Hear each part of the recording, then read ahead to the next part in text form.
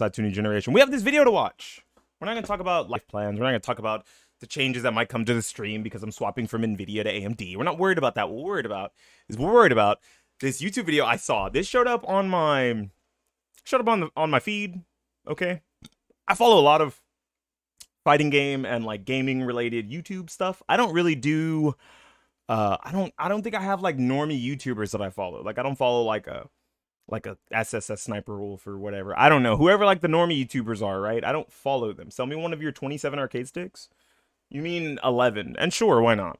Um, this is by Action Esports. I'm gonna react to this on stream. It says the most broken moves in fighting games. I'm sure that this is like not a comprehensive list. I'm sure they're not doing like a top five or a top ten. They're just naming a few. And I want to see if there's any on here that I know and understand even before, um, even before it starts. Like, let's hope, right? Because the the dream is we're gonna see. I already know we're gonna see a good few normie games, and then we might see like some crazy wild shit, right? Say it's like five moves. We're gonna see like three or four normie moves and like one wild ass game or wild ass move that most normal people I have never seen before. So let's see if we know the games and know the moves. We're counting down some of our favorite. Okay, okay, okay. Wait, let's pause. Let's go back. Was that King Tekken 1? That was King Tekken 1, right? I know this one. We're counting down. Okay, he's doing that, but that's not the move. The move is down 4 to 1. If they're going to show Tekken and they're going to show King from Tekken 1, undisputed top 1 best in the game, they're going to show down 4 to 1, which was so plus on block that you could get a full combo. So if you saw the startup of it, you were supposed to just eat it. You were supposed to just take the hit so you didn't die, which is really funny. Down some of our favorite broken moves. This is a normal YouTube channel? Yeah, it is, right? Like, this is one of the most normal YouTube channels I watch. I can't believe he did it. I cannot believe he did I don't know what's broken in that game. was ready for the There's nothing broken in that game. That game sucks. I don't know what it's doing on here. Unblockable setups. Is is there really an unblockable setup here? Oh, is that when he almost fought somebody? Dude, that kid almost got his ass beat. out the Ah. Meta Knight side B. Love that. Insane attacks of all time. So, without further ado, Kara Fukiage? Are they talking about Fuki? There's no way they're gonna call that one of the most broken moves of all time, are they? Kara Fukiage from from Makoto? Man, I hope not. I mean, it's good. MK11 in itself is a broken game. True. to kick Very true. off, we have Kings down forward one. I fucking called it, This boys. move, This shit was so dumb. King's DF1 is a normal that's better on block I'll explain. I, I know they're gonna explain it, but it was better on block than it was on hit. You have like a second and a half on block of them being staggered and comboable. But on hit, it was like plus two or plus three. So you would just like take the small hit on on hit rather than take the stagger and be like launched, basically. Then it is on hit. And not just a little bit better. Landing this on block leaves your opponent Yeah. completely You have to hold that. That's a real combo. and a half seconds. In short, It's like 90 it's like plus 92. frames for this move, it's better to drop your guard and Just get hit. Just yeah, let him beat your ass, bro. On hit, the move is plus 9. Plus nine. My bad. damage, but nothing too serious. On block, however, plus 93. Yeah. Oh, and it also Stagger, so you can get a full combo if you wave dash. You get guaranteed float launched, and there's nothing you can do about it. Surely this was a mistake from an intern who accidentally typed the wrong value when coding the move, but it made it through all the way until the game went gold, and we're so glad it did. Yikes. This move alone makes King the Undisputed top one. Yeah. There's no one better. There's no one even close to King. up, Storm? I see three Storm, three Cable. It can't be Cable. It's got to be Storm. It can't be Marvel 3 Storm, though, right? They're going to talk about like X Men versus Street Fighter Storm. This has got to be a bait. It's going to be X Men versus Street Fighter Storm. She's going to be doing the fucking uh, float jump heavy punches to build Hailstorm, basically. we have Storm. Storm is one of the best characters in Marvel vs. Capcom 2, but there's another fighting game where she's even better. I knew it. It was a bait. It was a bait. It was a bait. X Men vs Street Fighter. She had the dumbest shit in the game in this game.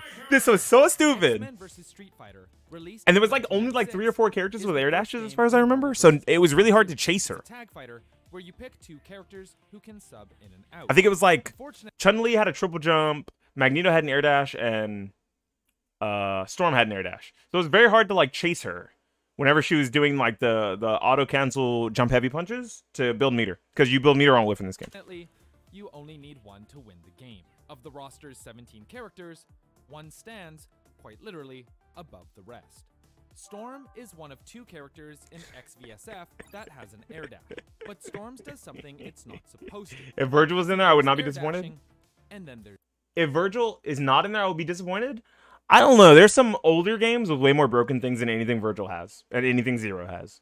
Like Marvel vs. Capcom 3 is a fucked up game, but I think these older Marvel games are even more fucked up. If, if we're being real, we're just young, so we don't think about the old games and how fucked up they were. I want you to watch this and tell me if you think this is fair. there's this. A super air dash. By the way, no one else has air dashes except her and Magneto. Look what she can do. Yeah, And that combines with another coding error. When in the air, Storm's It auto cancels. auto you. Ca- how are you supposed to contest that? It's a fucking wall. It's a wall. It's a wall. It's an infinite. It's a. It's a meter build tool. Who has a triple jump, are the only two characters that can hope to contest Storm while she's busting What do you do? aerial style. But if they fail to get a combo going before Storm jumps a couple of Woo, times, look at that. Build meter on whiff, boys. Which means she can start using Hailstorm, which covers the full screen And chips. and chips. Yeah. So the basic game plan is jump into the air, build Hailstorm, shoot it at your opponent who is forced to block, and that'll give you enough time to do it all over. Yay! And it wasn't even a fun game that is playstyle. Notorious for cheap moves Wait, notorious for cheap moves? That looks like injustice. Oh man. unfun mechanics. Honestly, we ah. Injustice. Cheap moves and unfun mechanics. Ah, there's so many things in Injustice I could mention. I could mention like the Batgirl loops. I could mention General Zod as a whole. I could mention Martian Manhunter. I could mention Superman 1, uh, uh, Superman from Injustice 1, like just uh, entirety as a character. I think it's 423 or whatever, or 421. But they said mechanic. So here's my bet. It's to be one of the stage hazards because casuals fucking hate stage hazards. Like, right, we're on a normal YouTube channel, so it's got to be the stage hazards. And it's more than likely either going to be the secret laboratory stage hazard or the Gotham Streets dumpster stage hazard. I think the dumpster stage hazard's probably the most fucked up. If it's stage hazards, not transitions. It's got to be the dumpster. If it's if it's stage specific, it's Fortress of Solitude. You think so? You you don't think Secret Laboratory or the um the dumpster's worse? I think the dumpster's worse. If if it's a stage hazard, it's gonna be a dumpster. If it's a character, it's gonna be Martian Manhunter or Superman. This one's tough. This one's tough. we could have picked any of a dozen or so moves and Yep. made Injustice two. compelling case for why it's broken. But here's my favorite from Injustice: Gods. Okay, the first Injustice. Dumpster. I fucking knew it. Yep, the fucking dumpster, boys. This shit was so fucking stupid. Let me explain the dumpster. If you're a power character, you can throw the dumpster. And when you throw the dumpster, the dumpster goes back into its original spots. You can hold people in the corner by throwing the dumpster on them as an OTG unblockable that does 25% damage. If they try to jump, you anti their jump. If they get hit by your grounded combo, they get hit by your grounded combo, and you throw a dumpster at them to finish the combo. That's what he's going to explain. There's like two characters that could rinse it really well. And those characters were Green Lantern and Batman. So my guess, oh yeah, you're right. Agile characters could spam it. That means Green Lantern couldn't spam it. He can only do it once because he's a power character. So that means they're gonna mention Batman because Batman can loop it. Green Lantern only gets it once to close out the round.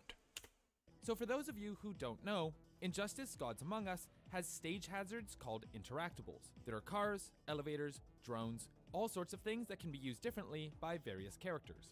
There's even a dead pig that slides on a I think there's got to be another Agile character that can loop it really well.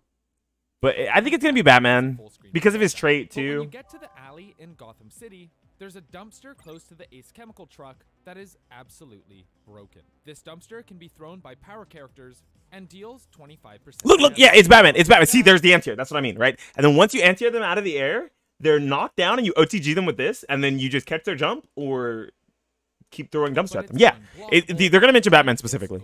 I know it. So, if you get Because trait is so stupid. You see how he's throwing that? Yep.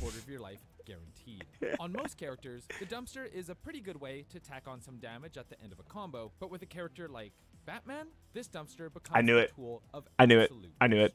It had to be. Once you get your opponent cornered, you basically threaten the air with projectiles, throw your batarang, create a situation where they have to block. There's the fucking trait. Trait with that is really stupid. And you've won the game. I want to play this game again. It's funny. Next on our list is a motherfucking JoJo's. JoJo. JoJo. JoJo. JoJo. JoJo. JoJo's. JoJo's. JoJo's.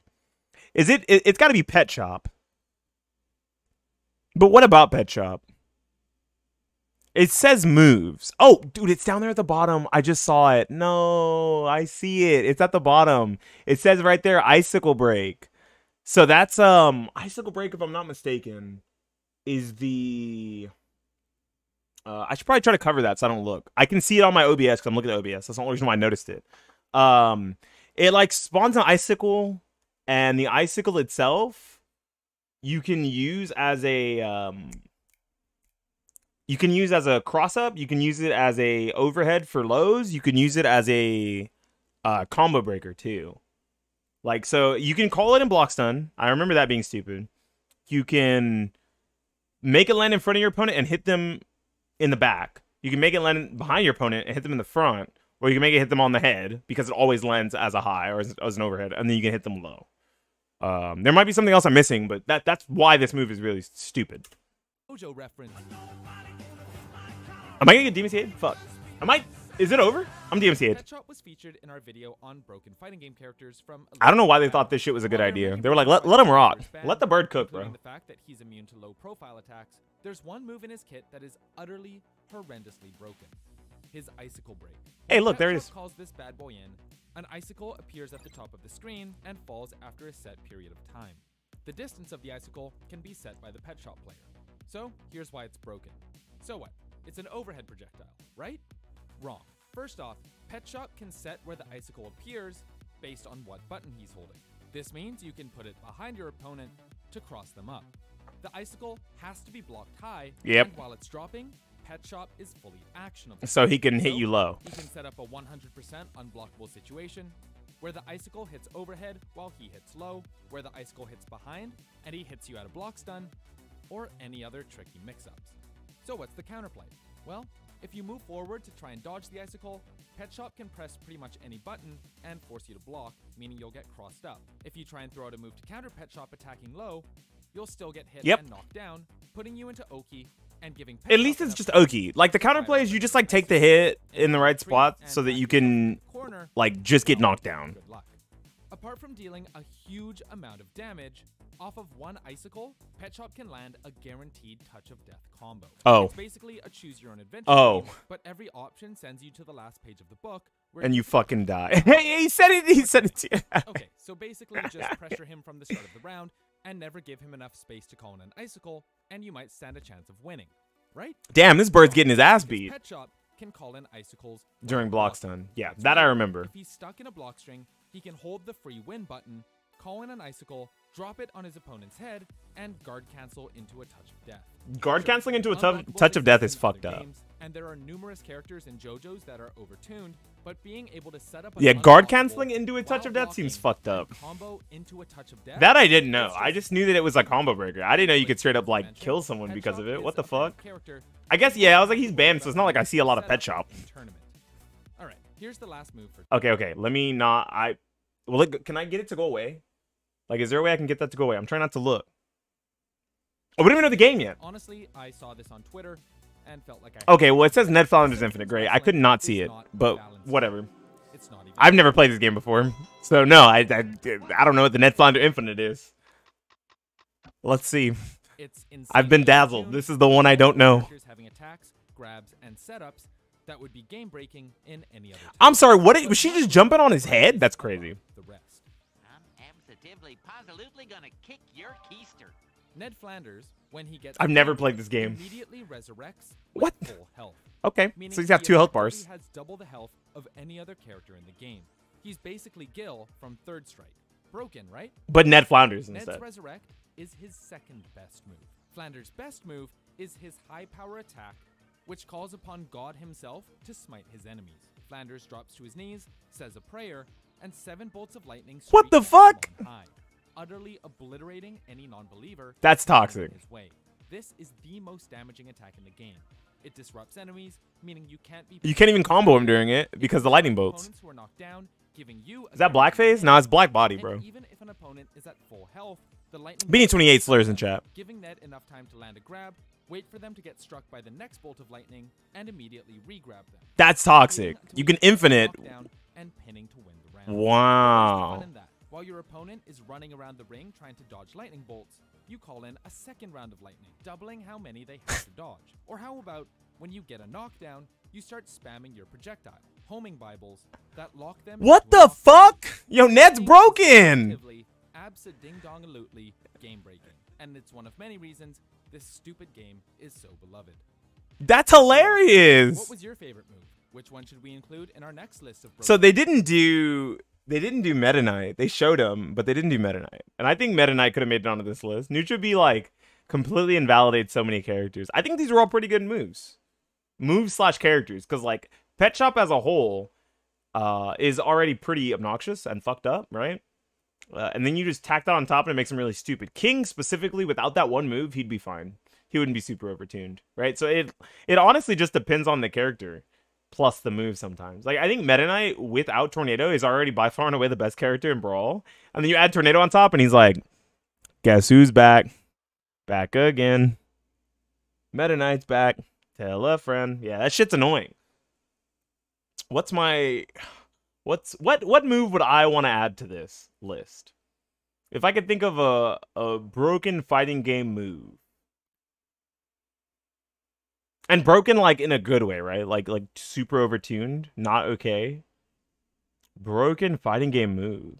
You guys let me know what broken fighting game moves you would want to add to this. Actually, go watch the original video too. This normie YouTube channel, Action Esports. I think I actually am subscribed. Yeah, I'm subscribed. I'm not a I'm not a fake fan. I'm subscribed. Cool.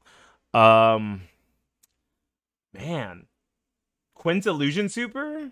I don't think Quint's Illusion Super is actually good. I don't think Quint is actually good. Broken fighting game move I would add to this list. Damn, Viola back throw is kind of Viola back throw is kind of hidden. I think it's Viola back throw from Soul Calibur 5. She get infinite off her back throw. She get infinite off it, cause ring outs off of it. Uh, basically it. The infinite did one damage, so you would time people out, or you would you would timer scam, or you would ring them out. And both of those always feel really bad, and you can't break back those unless your name's Voldo. So it's got to be it's got to be that.